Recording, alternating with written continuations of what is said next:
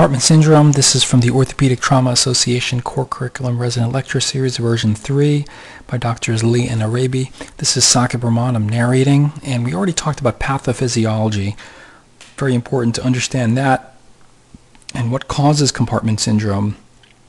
But the biggest and most complicated and difficult issue for clinicians is really the diagnosis.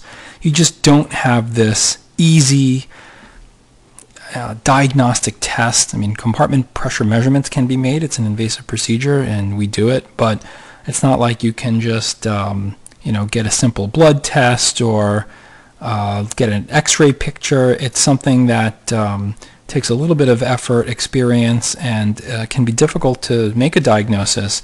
Uh, and the consequences of not making a diagnosis are significant. So um, this is really the crux of this um, of this topic. Now, we say it's a clinical diagnosis and requires a high index of suspicion, and that's one of the problems, right? You don't have this very simple, easy um, uh, diagnostic test that you can just easily get.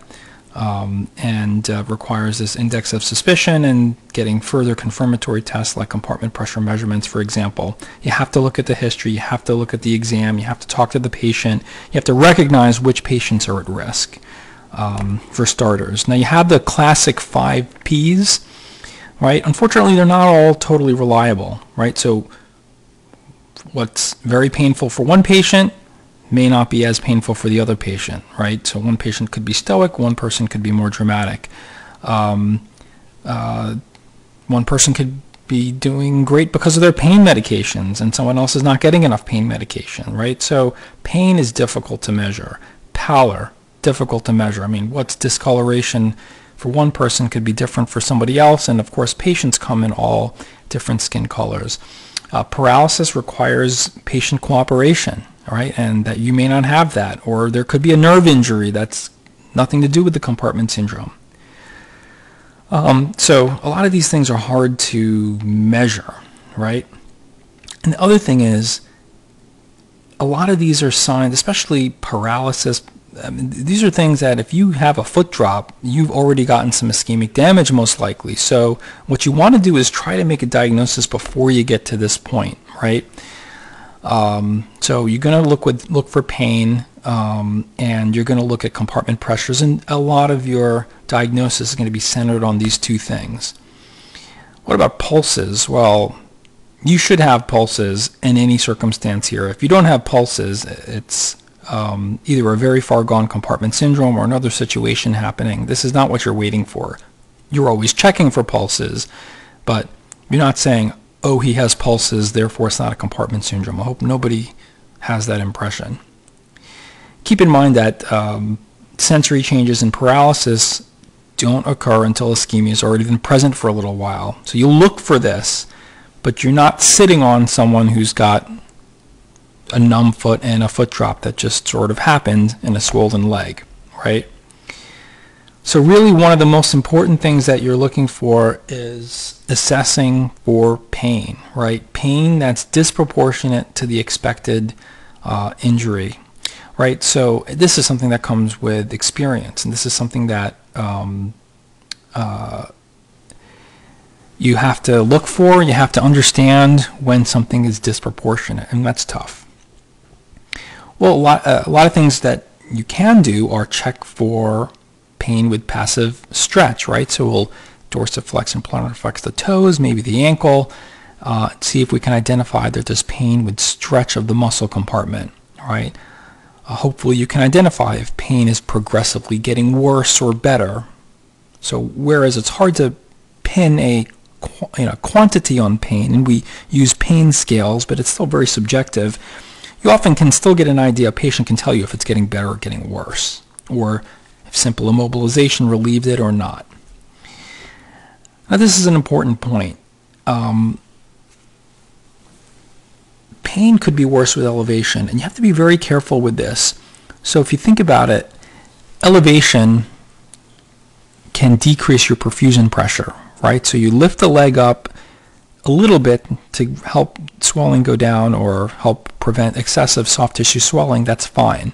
But you hang the leg up in the air, or you hang a forearm up in the air, you have to be really careful that you're not decreasing the perfusion pressure to the point that you could precipitate a compartment syndrome. And this is the this is the basis actually of the so-called well leg compartment syndrome, right? Well leg compartment syndrome. And this is something that happens when you use the hemilithotomy position in a uh, traction table when you're nailing a femur or something like that. And the well leg is sitting up there for too long and you can get a compartment syndrome. What about paresthesias? Of course, you look for this, right? Um, if it's a compartment syndrome happening, it could be because of nerve ischemia. Also, keep in mind you could have a blunt trauma or you know, a laceration or something that could cause a nerve injury, and that can make it complicated and not be a compartment syndrome at all.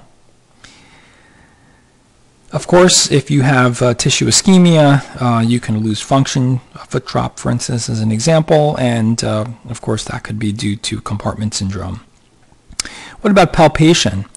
Well, this is really unreliable, unfortunately. We do it, you have to do it, and if you're experienced, you feel like you should have some sense of what's, you know, not swollen at all and what's very swollen, but there's uh, actually a lot of variability here, and it's just really tough to say, is this swollen or is it, you know, tense? What does that mean?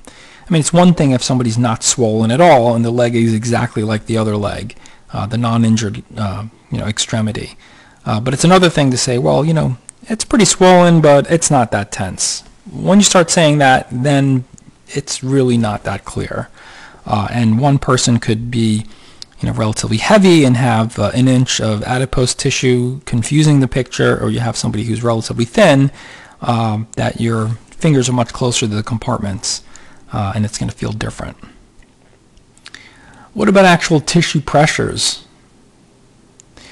Well, um, this is uh, really one of the uh, cornerstones of diagnostic testing that we have.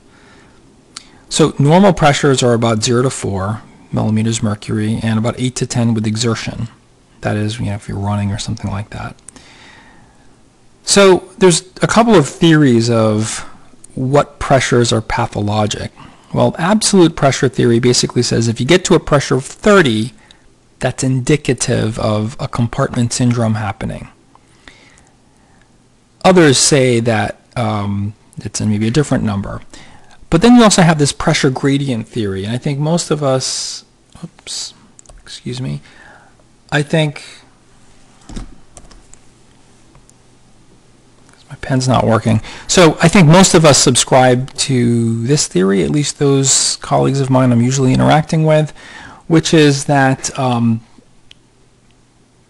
you look for the compartment pressure with respect to the diastolic pressures, right? So if the diastolic pressure is 70, right, and the intercompartmental, uh, intercompartmental pressure is 65, well, that's a delta P of only 5. And regardless of whose theory you subscribe to, in the pressure gradient theory, that delta P is far too low, and um, therefore you're you're uh, likely to be having a compartment syndrome. So uh, most of us, we get compartment pressure measurements and then we look at that with respect to diastolic pressure. Okay, so originally fasciotomies were frequently done for absolute pressures greater than 30. Uh, then we really started looking for delta P's and Margaret McQueen in Edinburgh, Scotland was one of the big proponents of doing this, and um, you know, in her studies also, it's important to note because we don't do this uh, in this in the United States as much, uh, but they do or were doing certainly continuous pressure measurements or continuous pressure monitoring, and saying that you can't just get these isolated static pressures, but you had to get continuous pressure monitoring, like an indwelling pressure monitor. Um, uh, so uh, they found that um, you had to look at this uh, delta P of uh, 30, milli 30 millimeters, and if you got less than that, then you potentially have a compartment syndrome. Now it is important to understand, and if you look at this um, here, it shows how the closer you get to the fracture, right, the x-axis, the fracture site is at zero in the center, and the pressure on the y-axis, you can see as you clo get closer to the fracture, in all compartments, the pressure goes up, right? So the tissue pressures are highest at the site or within 5 centimeters of the injury. So whenever you check compartment pressure measurements, you got to check somewhere near the fracture site. Just because you're in the compartment actually doesn't give you the same pressure. It doesn't mean that that pressure is the same throughout the compartment. Let's put it that way. So it's not uniform. So who's at high risk? Now this is really important. You know, we talked about this index of suspicion. So here's where you have to sort of um, look at the history, look at the patient, look at the fracture pattern. So obviously higher energy fractures uh, maybe have more severe comminution, um, maybe fractures with joint extension, segmental injuries, certain types of tibial plateau fractures such as the medial fracture dislocations have a high risk for compartment syndrome uh, floating knees. So high energy fractures are at risk for compartment syndrome. This is the other one. So uh, patients with impaired sensation are not, I think, per se at a higher risk of compartment syndrome, but they're at a higher risk of missing a compartment syndrome, right? So just because the patient's unconscious doesn't mean that, you know, their leg is more likely to get a compartment syndrome. But you can't use your clinical judgment as well, right? So I just spoke all about pain, pain, pain, pain, pain. Well, somebody who's intubated, right, or somebody who's, you know, just got, um, you know, a boatload of Ativan, or somebody who's uh, had a head injury, uh, or is unconscious because they came in on PCP. I mean, you can't get a good history you can't understand how their pain is doing. I would even say that if you have a patient who speaks a different language and from another culture, um, you may not be communicating as well. You may think that, well, they're kind of doing okay, but they're just a little bit anxious and you're not recognizing it. And it's not kind of, you know, uh, making its way through the language line interpreter service that you're using. So this is where the clinical suspicion has to be elevated. You know, you have to think, okay, is there potentially a reason why we have to look more aggressively, like getting compartment pressure measurements in one of these scenarios, because pain is now kind of out the window. Can't use it, right? Couple of other things. Presence of an open fracture does not rule out the presence of a compartment syndrome. Okay, so um, you still have to make sure you don't miss it. Um, uh, in fact, um, uh, Margaret McQueen found there was no significant difference in compartment pressures between open and closed tibial fractures.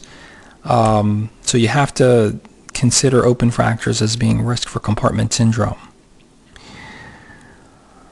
So um, again, delta P uh, less than 30. Now there are, uh, we're coming back to compartment pressure measurements here. Won't spend a whole lot of time on this. Uh, you can do a needle uh, infusion technique, not done as much anymore. Typically we use uh, some type of uh, needle manometer. Um, this is the uh, one that we used for many years at our institution. We now use a disposable one. This so-called Stryker device is the reusable one shown below with the sterile needles and the reusable um, measurement device. Uh, like I said, we now use a uh, very small disposable um, device that um, has worked very well for us. And uh, you can learn how to use that in a separate technique video. Uh, but uh, again, this can be done with a um, 18 gauge needle or side ported needle as shown here. And of course, you want to go within 5 centimeters of the fracture site or injury site. Um, and make sure you compare all four compartments. Um, in the in the lower leg, you want to look at the anterior compartment, the lateral compartment, the deep posterior and superficial posterior compartments. Um, the anterior compartment and deep posterior in the leg is usually are, are usually where um, uh, the the highest pressures are going to be found, and in the forearm, it's usually in the volar compartment.